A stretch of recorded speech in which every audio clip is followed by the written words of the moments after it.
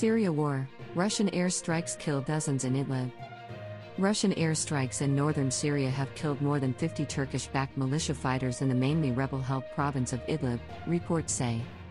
Many others were wounded in the attack, which marks an escalation of violence in the region.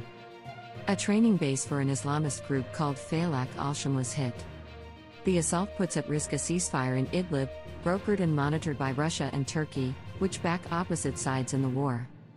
UK based monitoring group the Syrian Observatory for Human Rights put the number of dead at 78. Some of the wounded were in a serious condition, and the death toll was likely to rise, the observatory added. It described the attack in the Harem region northwest of Idlib city as the deadliest since the ceasefire came into force in March.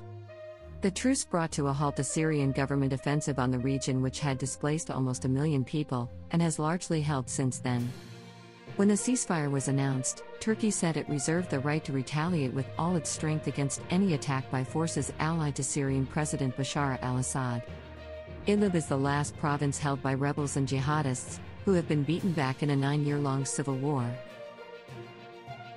Thanks for watching Universal Information and Entertainment TV. Please like and subscribe our channel for more updated videos, news, information and entertainment. See you in next video. Stay tuned.